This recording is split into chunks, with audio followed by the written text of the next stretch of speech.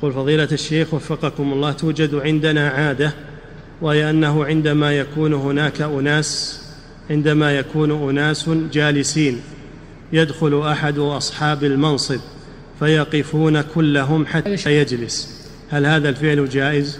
القيام له يجوز القيام إجلالا له ما يجوز. أما القيام للسلام عليه للسلام عليه فلا بأس. السلام عليه لا بأس. أما القيام له من غير سلام هذا لا يجوز.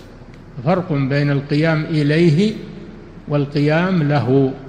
والقيام عليه إذا كان لحاجة مثل الحراسة لا بأس. أما إذا كان ما هو للحراسة وإنما هو من أجل التعظيم فهذا لا يجوز لأنه فعل الأعاجم نعم. فعندنا ثلاثة أشياء. القيام له.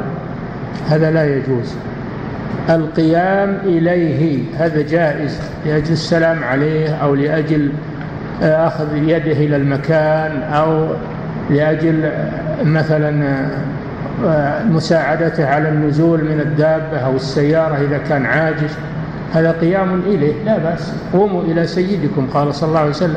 وعندنا القيام عليه وهو جالس. هذا إن كان لحاجة كالحراسة لا بأس. أما إن كان من باب التعظيم هذا لا يجوز. نعم.